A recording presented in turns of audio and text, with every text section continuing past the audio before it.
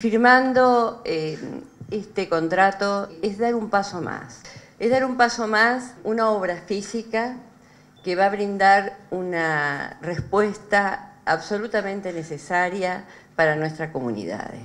Es fundamental eh, que los edificios eh, tengan el lugar que corresponde, que nuestra juventud, ¿no es cierto?, tenga espacios cómodos, Claro que ahora hay que esperar, ¿no? Porque las obras no es tocar un botón, no es nada mágico, pero se empiezan a hacer. Estamos haciendo ya distintas obras en la provincia a nivel técnico, inicial, secundario, primario.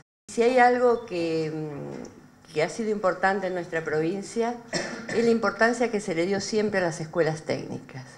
De hecho, en la década del 90, acá no se cerró la única escuela, las escuelas técnicas que teníamos, si bien en el resto del país se cerraron, se iban cerrando escuelas. La escuela técnica para mí es una llave que abre importantes caminos.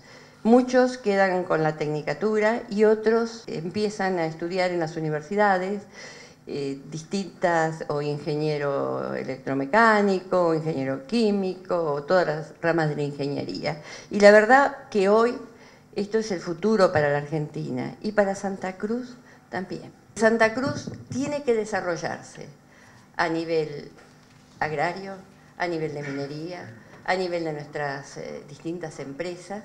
Entonces necesitamos cada vez más eh, formación técnica. Lo que queremos nosotros es que realmente estas escuelas técnicas no sean islas donde los chicos salen con un título, pero que después no está anclado en la vida de la producción. Cuando dejan de funcionar como islas y realmente hacemos un abordaje integral donde todos los saberes son válidos, esos saltos que tiene que dar nuestra provincia en escala y en formación se van a dar. Es tan importante hoy la presencia de todos los sectores de la producción porque esto es mirar la educación de otra manera.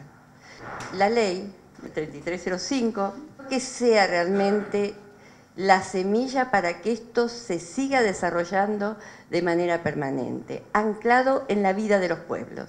Le vamos a ganar al tiempo perdido, no tengo ninguna duda, trabajando de manera permanente y con responsabilidad social fundamentalmente.